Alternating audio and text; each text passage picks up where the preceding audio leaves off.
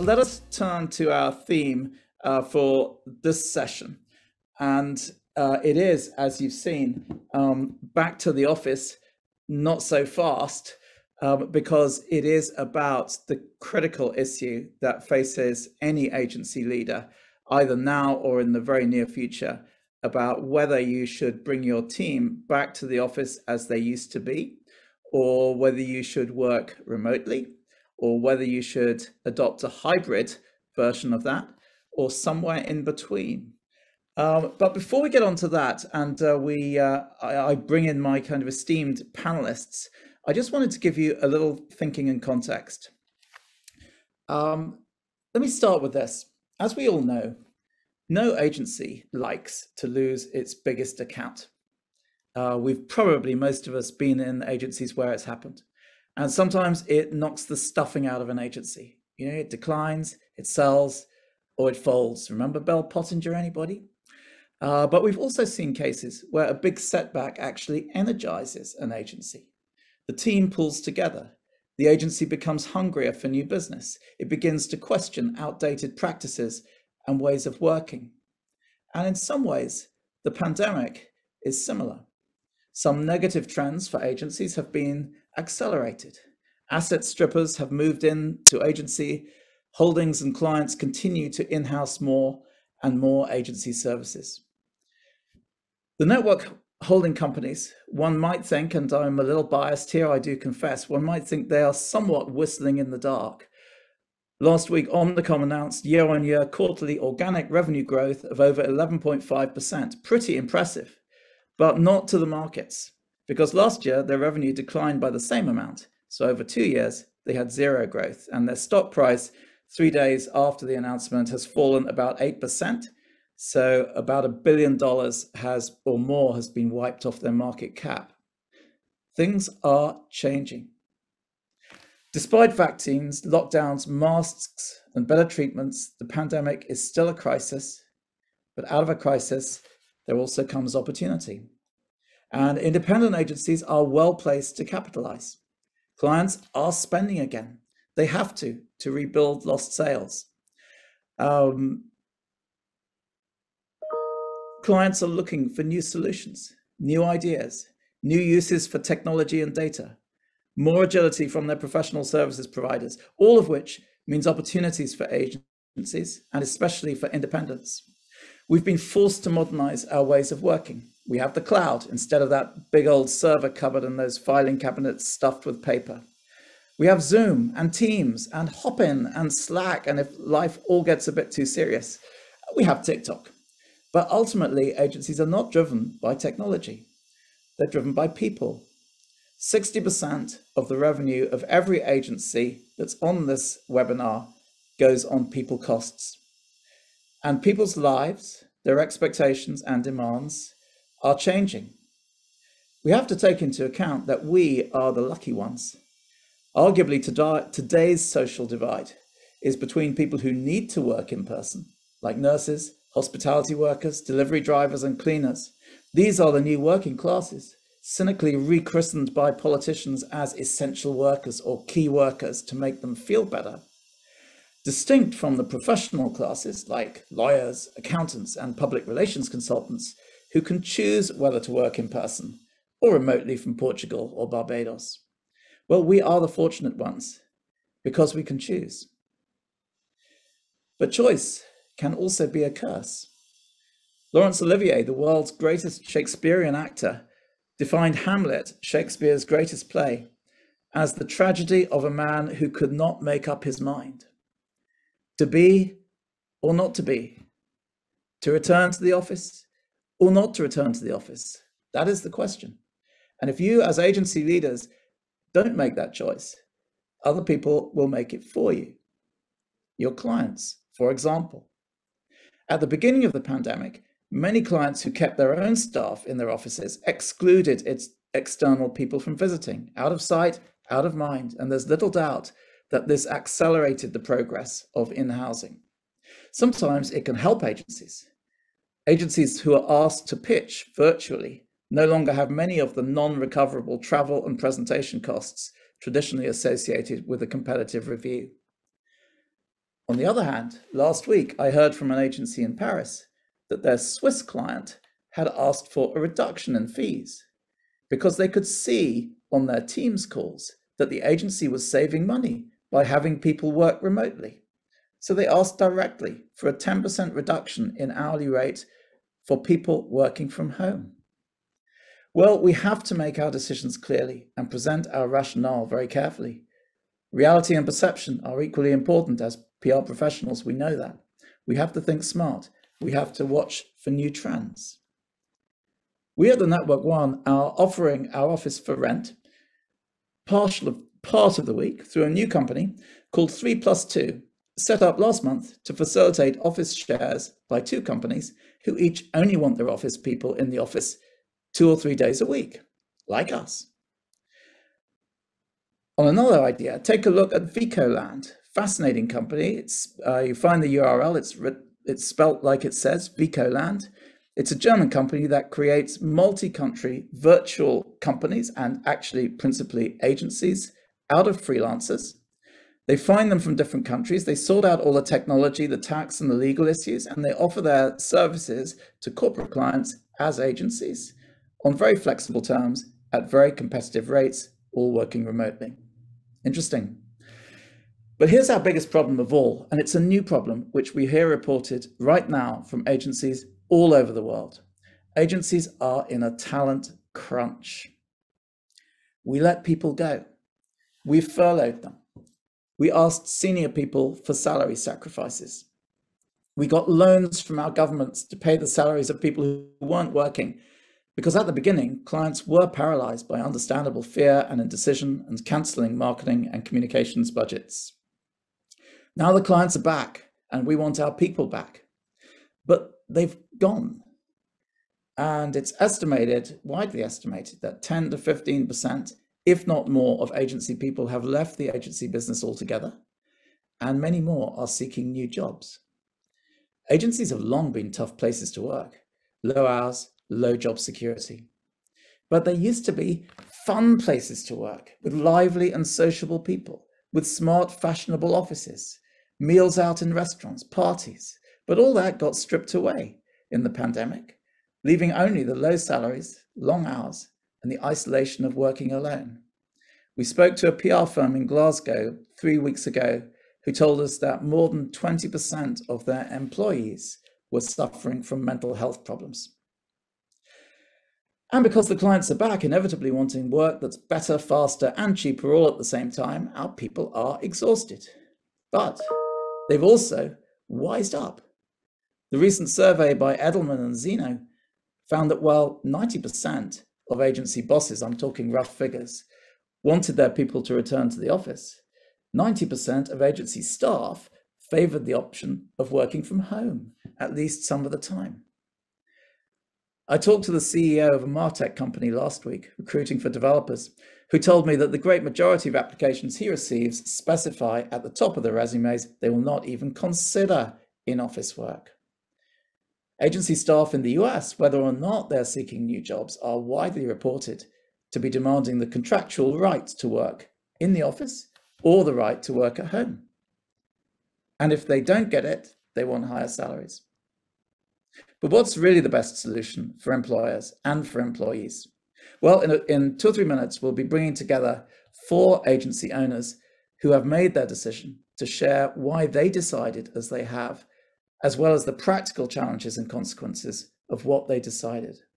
But before that, I'd just like to share a few perspectives from people outside our industry, which have opened my eyes to some of what is happening in our industry. And if you could uh, bring up the slides, please, now.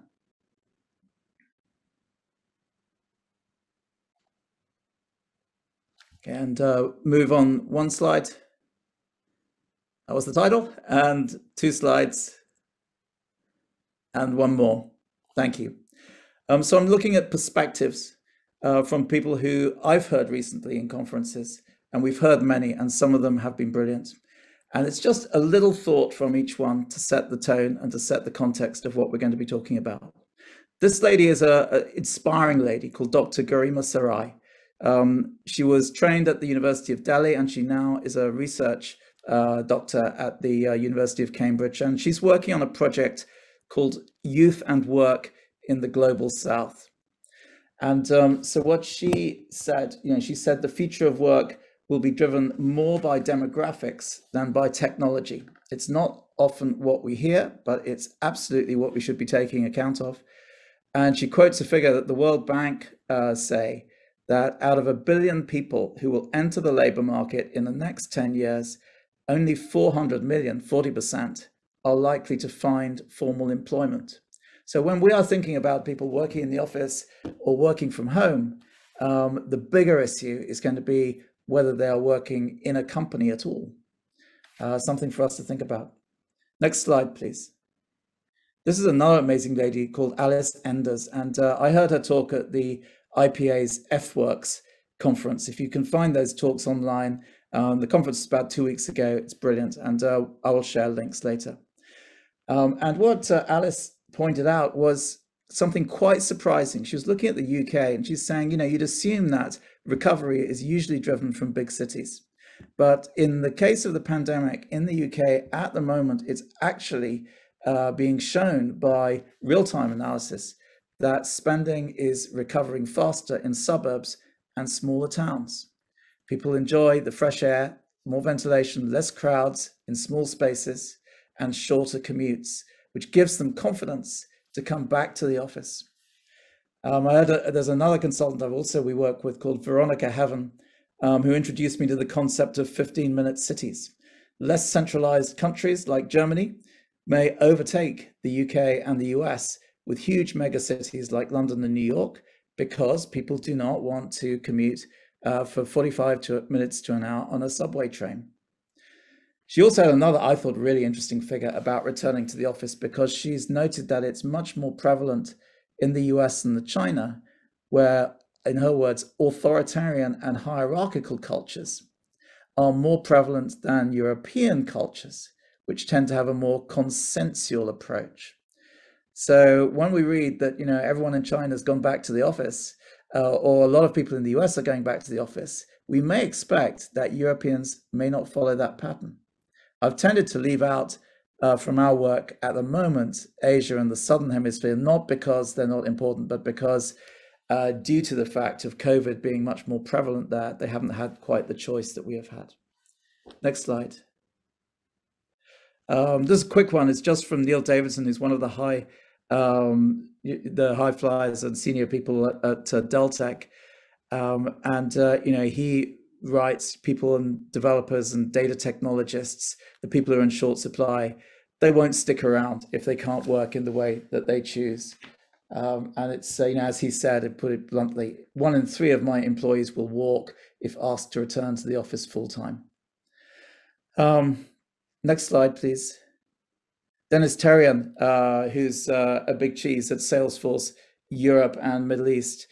Um, and Salesforce has probably one of the hugest data sets uh, that you know is around. And he is saying the the the jury is clearly out. You know, we've got 20% say they want to work from home, 30% say they want to work in the office, 50% uh, can't quite make up their mind or want a hybrid solution.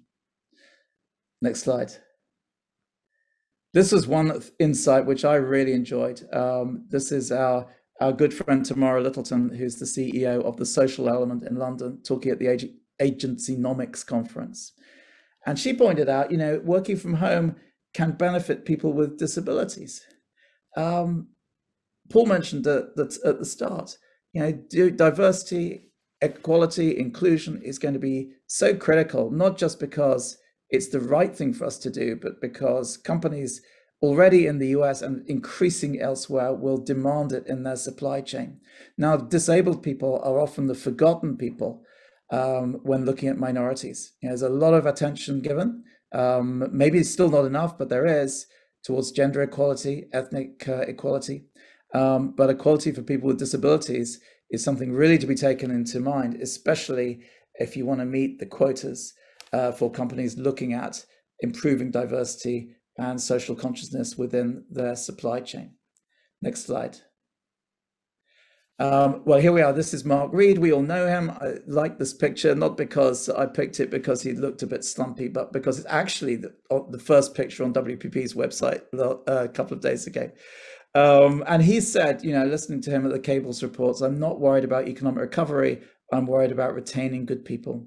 And to illustrate the point made earlier, um, in Q1 this year, WPP's actively working headcount was down 40% year on year. Some of that may now have recovered, uh, but it just shows, you know, what is the world's biggest holding company boss is more worried about headcount than he is more than he's worried about the global economy. Um, and last, uh, last, last individual, Kai Fu Lee. Uh, next slide, please.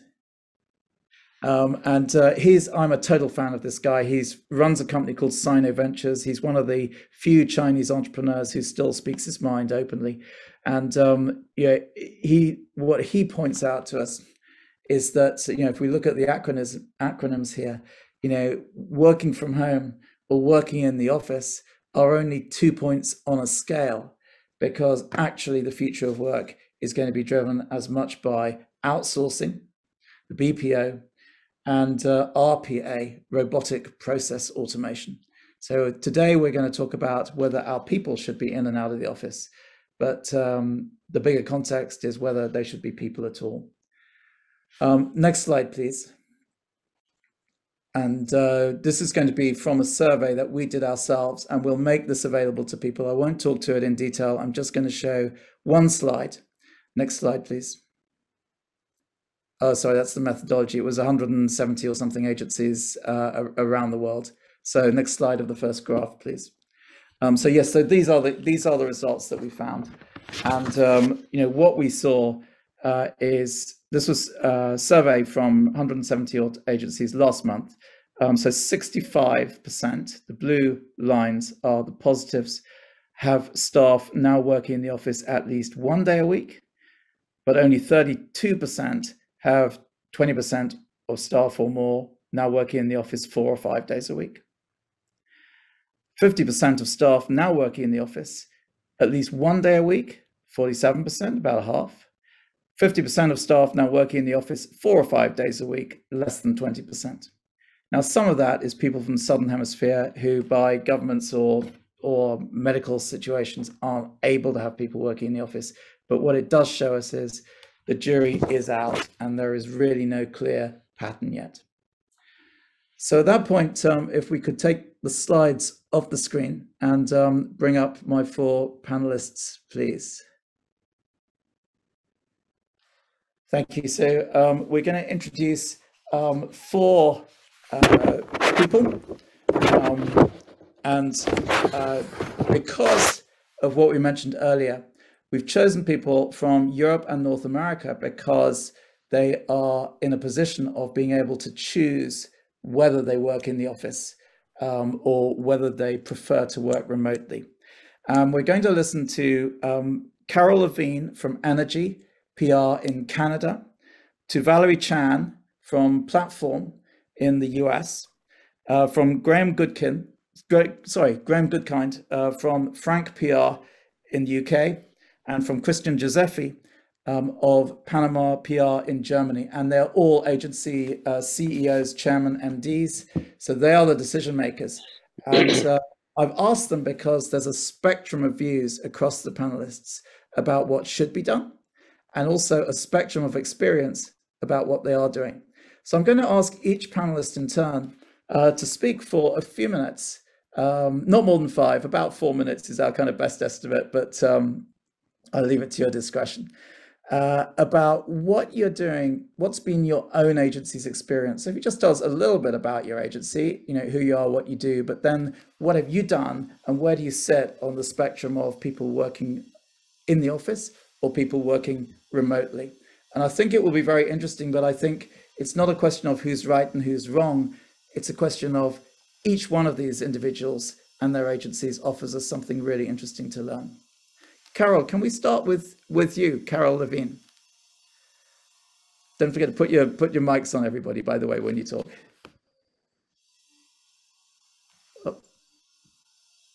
Thank you, Julian. You're a tough act to follow because so much of what you've said in your opening remarks reflect uh, the situation that we look at.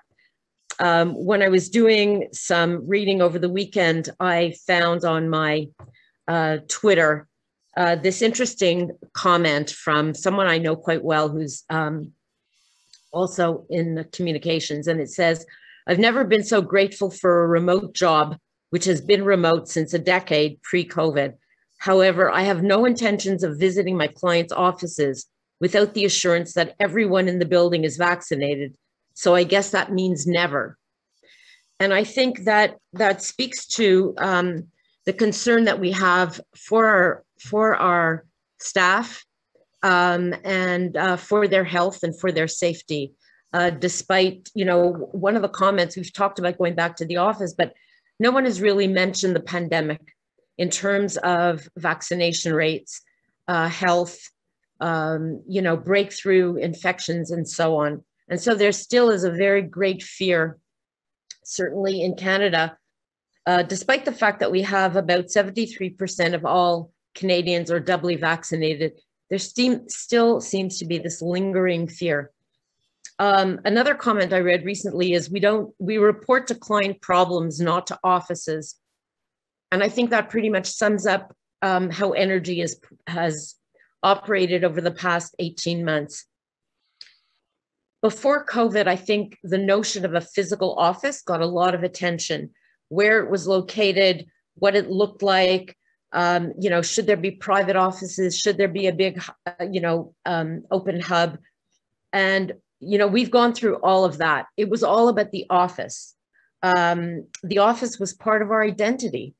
Uh, certainly in Canada, you know, where your office was located, if it was on Bloor Street in Toronto, um, if it had bricks and beam, you know, wood floors, if it had a stocked fridge, these were all the subtleties that were there that were so important. And it almost defined who and what an agency was all about. Um, and to a certain extent, we often joked about the the practitioner that works out of their basement. It was it was a stigma to work from home, um, and clients uh, did not favor their employees working from home at all. You know the the managers wanted to walk down the hallway and see that people were sitting at their desks and on their phone and doing whatever they had to do. So the office was, was really, I guess, the cornerstone of an agency uh, to a great extent. We were founded in Montreal. Um, in the early 80s, there was a huge shift of business from Montreal to Ontario. And we, as a small independent agency, felt the need to do that, which was really risky because we didn't have a holding company safety net to help us but we we did you know we did the move.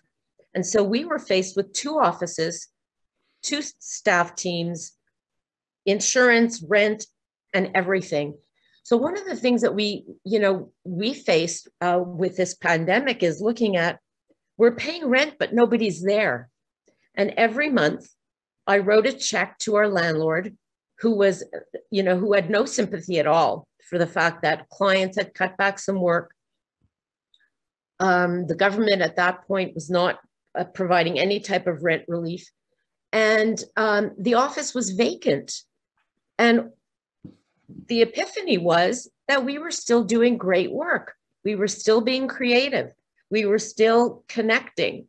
We connected more with clients because we not only picked up the phone to speak to them, we saw them on Zoom. We saw them in their own homes. So we, we had a lot of personal connection. We saw what people looked like. There was a lot of, um, you know, I'm, I'm trying to think of the, the right word, but there was a lot of empathy one to the other. And yet we still got our work done. Um, what I learned over the last 18 months and, and sort of it gave me an opportunity to reflect we didn't need the big Xerox copier. We didn't need reams of paper. We didn't need, um, you know, the letterhead. We didn't need the envelopes. We functioned very, very well um, remotely. And so looking forward and, and, you know, for the immediate term, uh, certainly, uh, we have no intention of going back to the office. it makes no sense to pay the rent, the insurance, and all of these things. Um, in Canada, of the 30 or so agencies that are part of the Canadian Council of Public Relations Firms, I don't think but a handful have gone back officially as of yet. Nobody has made that commitment. Everybody is still in that wait and see mode. Um, and from a hiring point of view, look at our talent pool potential. You know, we always worried about um, somebody in, you know, if you know our city, um, you know, young people generally can't afford a home, but they can afford it in the suburbs, which is, you know, an hour commute, maybe even longer. And even if you live in the city, the traffic and, and the daycare issues and all of these other factors. So um, it's it's such a huge relief, I think, to individuals. Now, that doesn't mean that we won't see each other. We just may not see each other in the office. So we'll look at hub meetings. We'll, we'll either rent a WeWork or, as Julian mentioned, this three, uh, three plus two scenario. I think these are all viable options to keep people together, to, to have them feel uh, connected. I think um, trust becomes a huge factor when people are working from home. You need to have a staff that can manage through that flexibility, um, that liberation as an example, and, and still produce uh, good work. And, you know, the idea that there is a huge um, talent um, gap, uh, very hard to find individuals to work. And uh, we need to make it as, you know, as convenient as possible. Um, so I'm not I'm not saying that we will never be back uh, in an office, but uh, for now, Energi will be working from home. Thank you, Carol. That's uh, put out the stall pretty well, I thought. Um, and actually, I'm going to ask now Valerie, Valerie Chan. Um, Valerie, I think you're you're in San Francisco, but I can't tell for sure because you I, work in I many am places. In, uh, well, right now I'm in Kauai. I'm just visiting for a funeral, but um, I am based out of San Francisco. That's correct. But we so, have people um, in the, we have people in New York, we have people in the Midwest, we have people in San Francisco, LA, um, as well as in London. So um, in terms of how Plat4orm was set out, we're a virtual agency. We started um, to be a virtual agency from the start. And I, I think um, a lot of things came into play. Um, I came from a technology background, and because I was kind of born and bred in technology, had a stint in, in law, and then went back into doing agency work. Um, be, being set up as a virtual agency came natural. Um, but there were many considerations in place. And um, I'll talk about how the pandemic affected us in just a second. But in terms of what it meant, um, we made sure that we had the right infrastructure in place, making sure that people had the, um, the appropriate security measures in place. We wanted to make sure that we had um, a, an employee handbook that allowed for a remote work policy, um, certain standards in place on how you can, can talk with clients, what the, the standard of client care was, that sort of a thing. And it became obvious to us of in terms of competing with traditional agencies that we had to work better, we had to work smarter, and we had to provide higher level, a higher level of client service. And that um, going before pre-pandemic was a little bit difficult in terms of perception. Um, we had we had virtual offices at remote um, at Regus facilities throughout the United States, um, and then uh, Regus also has a partnership with Spaces. And so if people wanted to go into the office, they could. Um, however, you know, most people wanted to work from home. Um, the other thing is that we made sure that people were working within a certain hour, um, just, you know, not standard nine to five or longer, depending on, on what it meant. But even though we've set these policies in place pre-pandemic, um, what was interesting is that from the client perspective, quality of care became a huge issue um, in terms of perception. Are they going to function?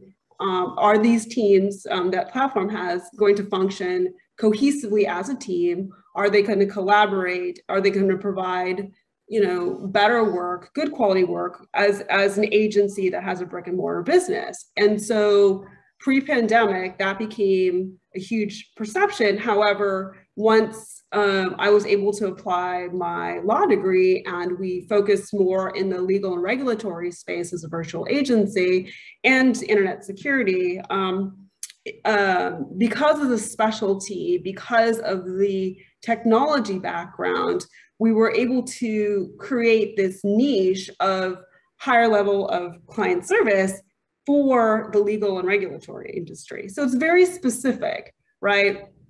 And as a virtual agency, because all our clients are have have um, you know actually have a global presence. Like one of our clients is LexisNexis, right, and the RELX family. It you know it becomes easier to provide and and actually manage the client and you know be available for them. And we don't have that we didn't have that perception. Come the pandemic um, what we found was because we had set up the the infrastructure for a remote working environment it just was easier to to take on more client work and to provide better service. Yes we doubled down. Yes we work longer hours did we lose clients our clients actually doubled down because they knew that we could actually work in a remote working environment to get the word out. And we became more creative on how we collaborated and how we actually worked with clients. So, um, that said, was there burnout? Absolutely. Absolutely. Were people kind of sick of stuck to their chairs? Yes, absolutely. However, we were able to ride out the pandemic pretty well. And this just this year um, have about 30% growth, right? Which was actually pretty tremendous in the era of a pandemic. So, um, you know, I, I'm really fortunate to have set up a policy, set up policies and procedures in place and, you know, been aware of, you know, what to do to hire. But, um, you know, the question that people should consider is is having a virtual agency going to impact me you know from a collaboration perspective? Is it going to impact me you know from a hiring perspective or is it going to benefit me? But also you know after the pandemic actually you know ceases to exist which may be in the next 3 or 4 years you know, is there going to be a stigma to 100% virtual agency? And what do you need to do to ensure that you can compete with a brick and mortar agency if, if that comes about? And so um, I think we just need to think about what that actually looks like. And I, I think from our perspective, you know, yes, while we're virtual, um, there's a part where having like a hybrid approach works really, really well. And so while even though we're virtual, we do meet or we did we did pre-pandemic on a monthly basis for those those folks who are in specific regions. So for San Francisco, for example, or New York, or whenever there was a trade show, all our teams would come together, all the team members would come together, and then we'd have a, a meetings um, after meetings just to collaborate, or we'd have, uh, you know, a white, you know, a whiteboard online that you guys could, uh, we, I could give you the technology links afterwards, um, so that you could collaborate um, with. But you know, that is like having having a client come into the office is also super important too which i will not you know like yes it's easier to have a conversation now but you you can't beat the face-to-face communication that you can have with a client. So just just a few things you know in terms of considerations for after we emerge pre um, after the pandemic. So um, but those are considerations that we have as well Valerie, thank thank you very much for that. That's really stimulating. It's interesting to see the difference between an agency that was purpose built, if you like, almost mm-hmm. um, for remote working, and one that's finding its its way. Most of us are finding our way. Um, some of us are finding different ways, and uh, I must say one of my favorite people to have on a panel is um, is Graham from Frank. And the last time we had him on a panel about the role of the creative director in a PR firm, and he kicked it off by saying, "Well, we don't have a creative director because we don't think we should, because everybody should be creative." Um, so, Frank, I hope you're not going to tell us that you're all working uh, remotely and that you've got a slightly better way to do it. Um, how is your experience? Um, what are you doing? I'd still say, by the way, that we don't need a creative director and um, and have a creative culture instead. But that's uh, that's still one for another day. No, ironically, today you'll see that I am actually working from home, um, even though I'm going to talk about the benefits of why we are an office-based company. Um, I'm only working from home as it goes because, uh, ironically, given the subject, I contracted COVID over the weekend. So uh, obviously, I'm not allowed out. I'm not allowed out of my house for ten days. I'm feeling all right. Don't worry about it. But um, uh, I guess the first point to make, really, that I'm going to make is is that in this industry there are so many different types of agencies, and to have a one size fits all solution for every agency is um, is kind of not going to work. Valerie's just talked about having a, a completely virtual agency, even in with PR, even within PR, there's public affairs agencies, corporate agencies, consumer agencies, press office agencies. We're a creative agency, so we're you know kind of have got our own niche within a very wide and broad spectrum of companies, and and for a creative ideas led agency. Um, and you know, when it's all about coming up with those great moments and stories that create buzz, get people talking. Um, we do that best when people are together, and the more we're together, the more we do it. The more we're together in brainstorms and creative sessions, the better. When we held them remotely, as we had to, because we weren't allowed into the office, to be honest, they were rubbish. Um, no one could bounce off each other, build on a thought. I really felt we were being creatively compromised. And those moments of serendipity that you get with people in a room together, you know, someone says something and someone builds on that, and another person, they just don't happen um, on Zoom or, or those you know similar platforms. And all you know those those those also I should add those creative moments of inspiration don't just happen in a brainstorm; they happen all day, every day when people are together. You have a chat with a colleague as you're making a coffee, you're going to walk to get a sandwich um, for lunch. These are all moments of opportunity that you get when you throw lots of talented people together. Um, for us, it's how the magic happens.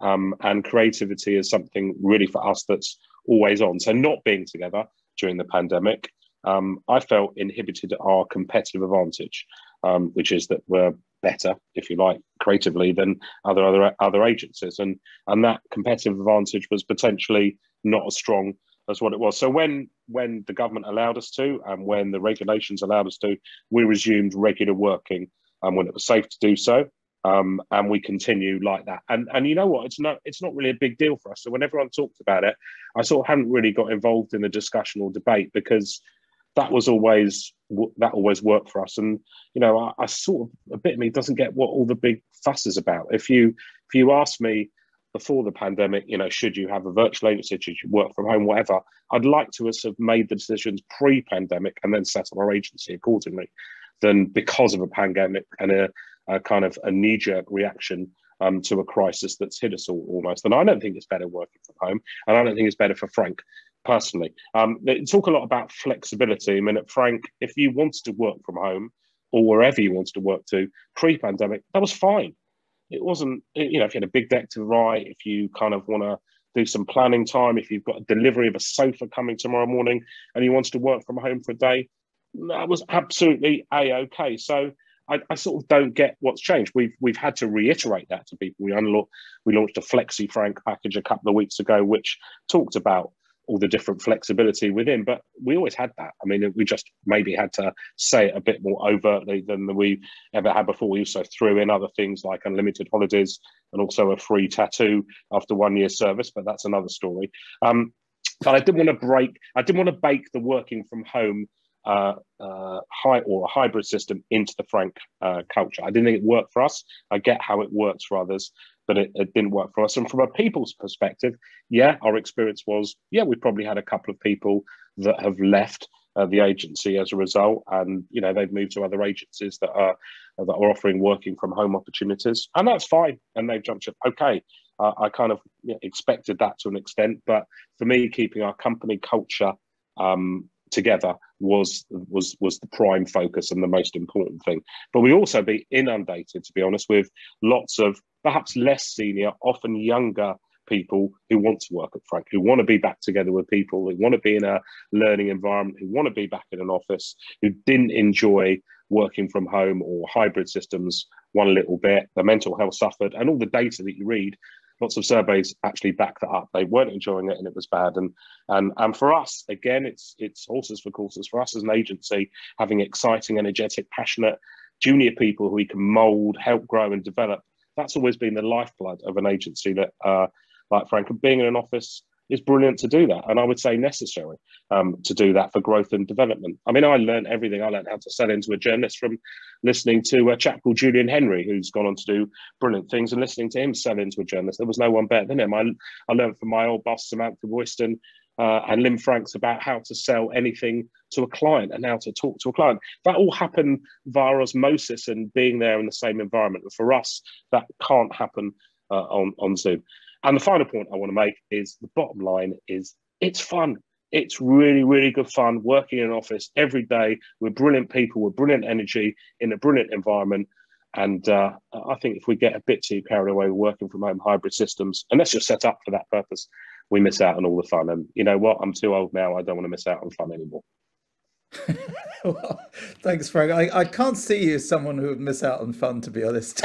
Uh, but uh, cool. yeah. I, I, would say the same for other people who perhaps do work more from home too. But um, no, thank you, thank you very much for that. Um, Christian, I'm going to ask you now because uh, so we wanted to have someone who's got something of a hybrid agency, um, but with a very specific twist, uh, which intrigued me. Um, and Christian, please tell us uh, Panama PR in Germany. How have you gone about this and what is special about the way that you've approached this question? Oh, and by the way, if you want to use the two slides, just say, because we've got them in reserve if you'd like to show them. Okay. Well, thank you for inviting me. Um, thank you, Frank. I'm a fun person. Uh, thank you, Graham. Sorry, Frank PR. Graham. I hope um, I will be perceived as a fun person even after my few words. Um, we opted for the complete opposite. Um, we were forced into it um, by the pandemic lockdowns and decided in last October to go completely virtual from an office only um, mode of operation. Um, and let me tell you a story. I went, um, I participated in the Network One's Indie Summit in 2018 in London. And before the summit, um, together with a Swedish friend, um, we went to see five London-based agencies, and we were very, very astonished to meet only one of them, one out of five, in office spaces, in their rented office spaces. The others were in co-working environments. Most of them we met in a bar or in uh, clubs. Um, so, and the, the, the, business cards they handed over to us traditional Germans um, coming from Stone Age had no physical address on them. They had social links, they had uh, mobile numbers, no physical landline numbers. Um, and that seemed to be a new trend. And we handed over our business cards with phone and fax numbers on them and wrote manually the mobile numbers on them. I don't know if you remember that embarrassing time. So um, we were truly embarrassed. And I went back um, to Stuttgart. I think uh, we're kind of the the um, exotic agency here, not being in one of the the, the global epicenters of communication. Um, but we suffer the same but slightly different problem. Um, the the talent crunch is is here slightly um, slightly different from yours, because when mainly not competing with other agencies, there are no big agencies here, um, but with industry. Um, you know, we're automob automobile city, so Porsche is here, Mercedes is here, Bosch is here, but also IBM and HP and all the surrounding infrastructure of suppliers, global suppliers. and they have a lot of money. They throw willingly at our people. So um, the talent crunch is present in a, in a different setting. Um, and I never forgot about this visit to London, and I always dreamt of building a remote agency because it gives so much um, advantages, challenges, and and um, you know competitive advantages. But I lacked the um, I don't know the brains. the the um, my brain was in a small entrepreneur's mindset, you know, um, and this does not contain 100 the 100% trust to everybody mode. Um, so I feared letting go people um, to let them work wherever and whenever they want to. And I, I, thought of the rules and regulations we would have to set up, and um, we lacked the tools. And boom, the pandemic hit, and we had to introduce it and to find it in, in, in a very little time. And still, there was this fear of letting go, you know, giving trust, 100% trust to everybody. Um, they will do the best they can for our clients and for our mandates. Um, and then I, during my research, a lot of reading, a lot of listening to podcasts, a lot of um, questioning other people, um, I ran into this podcast where, featuring SAP's former HR VP. And she made two clear statements. If you want to go remotely, find your company's specific set of rules and tools. You need to do it your way. And the second was even shorter, but more encouraging to me. Um, just go for it. Try it out. You may come back to point zero at any given time. If it does not work, you go back to the old work in the office um, policy. And that helped me and, um, and Mike and my colleague um, in managing Panama PR to, to go 100% virtual. And we call it Panama New Work, Panama PR New Work, and gave us very, very little rules. That's a chat um, in the morning where you sign in and give an indication until when you will be there, reachable for your, for your colleagues. Um, a second rule is um, you give priority to team and client um, requirements over your personal agenda. Um, not always, not in not at every single minute, but you give preference and you return calls you receive and you you answer emails, of course. And if you're not available, you you will indicate that on the chat. Um, and besides that, that's it.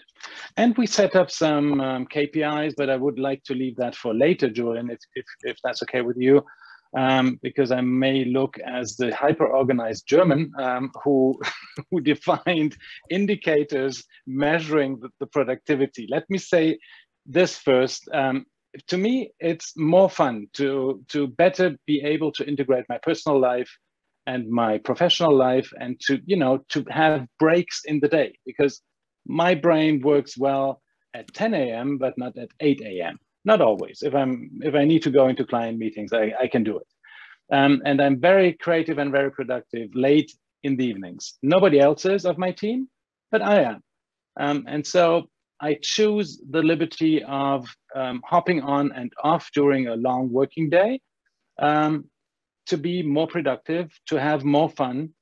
But the one aspect I'm really missing, and that's where I, I fully support Graham and um, Carol and all. Valerie, I'm not sure. Valerie is very much in favor of working remotely.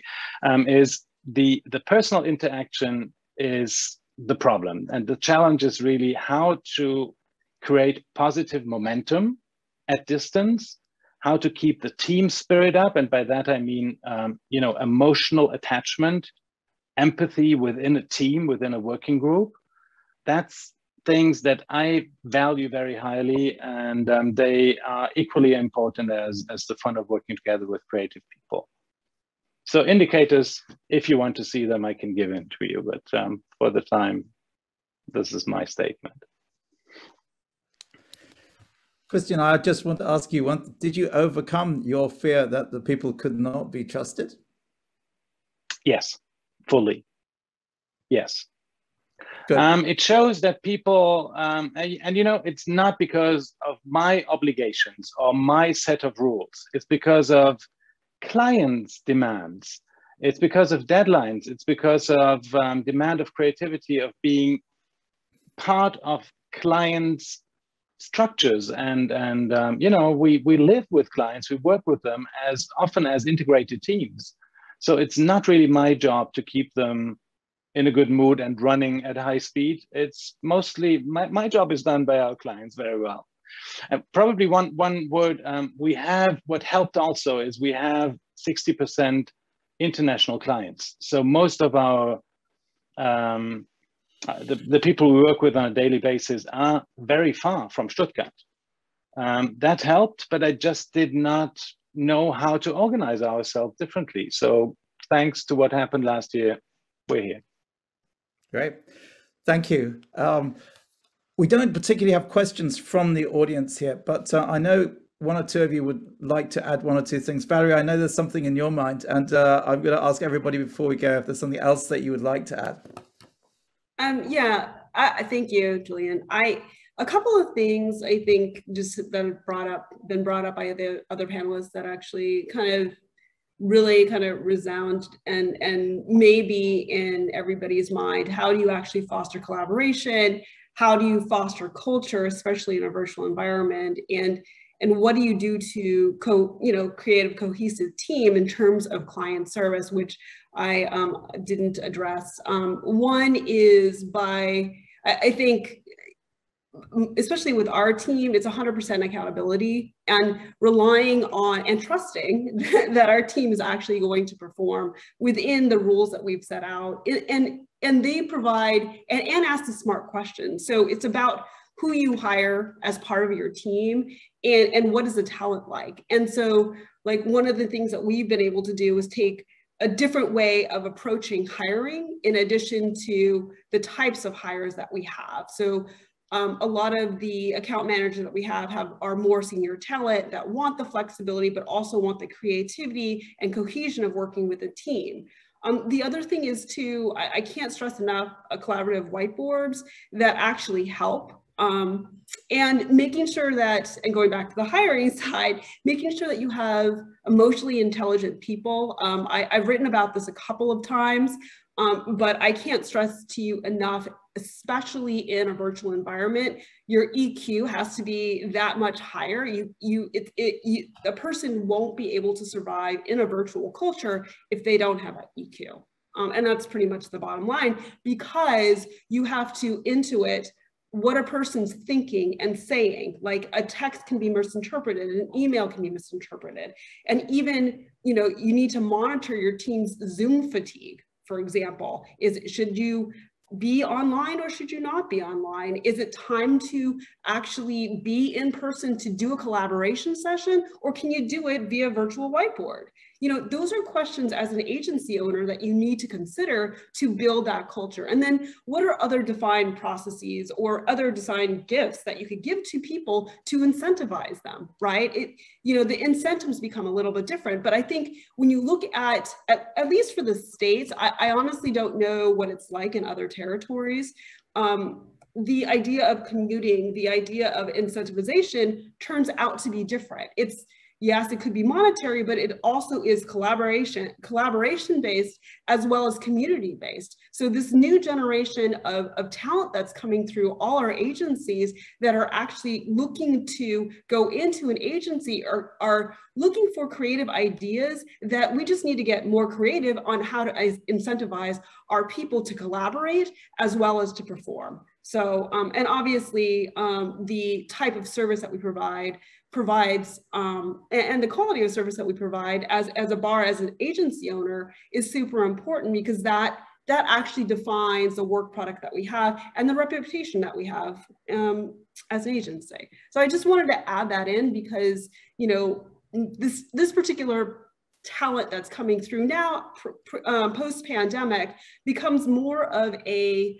um, you know, becomes more of an opportunity for us to figure out ways of creating creativity without you know the four walls around us so i just want to throw that out there oh thank you very much valerie um, Carol, I think you you should have possibly the last word uh, because you had to speak first and you've heard everybody else. Um, any points you'd like to pick up? Uh, agency. Well, I, I, would just sure. I, I, would just like to tell Christian, um, and, and, I really uh, enjoyed that presentation about you know just go for it. Um, but we try to um, we try to be in each other's lives from from that um, complicity point of view. And we celebrate birthdays with virtual backgrounds. We send cupcakes when it's someone's birthday. Uh, we get together for, you know, to go to a bar or have a drink or have a dinner. Um, but it's also recognizing people. So we probably overcompensate on that, you know, sending a nice surprise package, uh, totally unexpected. Somebody gets a delivery. You know, these are the kinds of things that make a team feel like they are are one, that they're unified. We also share each other's you know difficulties. People, I mean, it's been a rough road for so many people over the last 18 months. Um, you know, one of our staff has family in India. You know, she had her in-laws and her parents in hospital at the same time. Fortunately, everybody was fine. But people are going through this anxiety. And there was a lot of a lot of emotional support. I think you can still give it um, in a remote uh, in a remote way, but this has uh, been very helpful. Great. We have about one minute. If anybody would like to put their hand up for one point, uh, Graham, please. Uh, yeah, yeah I, I, guess my last my last point, which I sort of touched on, is is culture, and I, I kind of I love what everyone else is saying, and as I said at the start, you know, different agencies have different models, and everyone, I guess, can make it work um, for them. For me, agency culture is such a massive thing. In certainly in the UK market, there are some really powerful, strong cultures, and I could see working remotely the potential for the Frank culture to evaporate a little bit. And I, you know, I was concerned about that. And I think you can become much of a muchness.